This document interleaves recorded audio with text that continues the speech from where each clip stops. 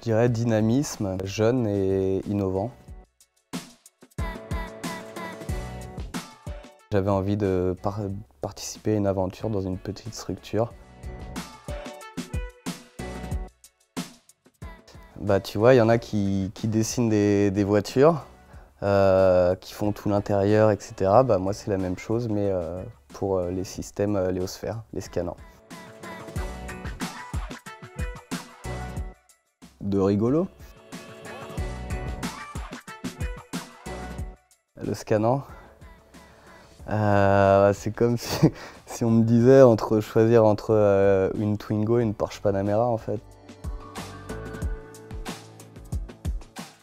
Il y, a, beaucoup de sport, ouais, ça bouge.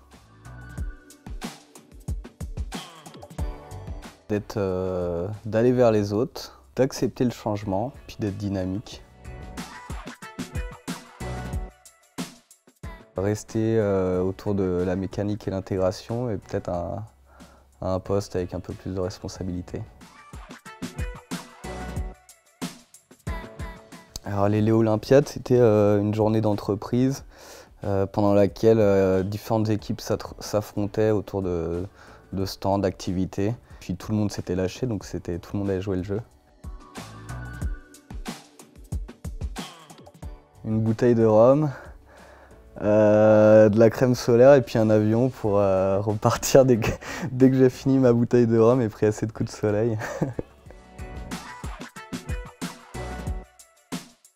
ouais, foot, euh, crossfit, un peu tout ce que propose l'Osphère.